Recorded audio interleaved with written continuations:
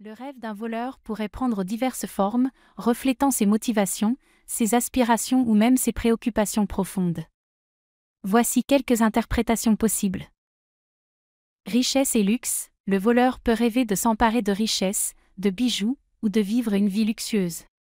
Cela peut refléter un désir de succès matériel ou une envie de sortir d'une situation financière difficile. Liberté, le rêve pourrait symboliser le désir de liberté, d'échapper à une situation oppressante ou contraignante. Le voleur pourrait représenter la volonté de briser les chaînes qui limitent sa liberté. Pouvoir et contrôle, certains voleurs peuvent rêver de voler pour obtenir un sentiment de pouvoir et de contrôle. Cela peut être lié à un besoin de domination ou à des frustrations face à un manque d'influence dans la vie quotidienne. Survie, pour d'autres, voler dans un rêve pourrait refléter des préoccupations liées à la survie le voleur pourrait être motivé par le besoin de subvenir à ses besoins fondamentaux ou de surmonter des obstacles difficiles.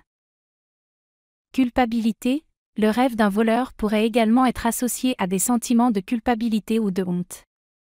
Il se peut que la personne ait commis des actes répréhensibles dans la réalité ou qu'elle ressente des remords par rapport à certaines actions passées. Recherche d'identité, le rêve pourrait représenter une quête personnelle d'identité. Le voleur pourrait symboliser une recherche intérieure, une tentative de découvrir qui il est vraiment au-delà des normes sociales ou des attentes extérieures.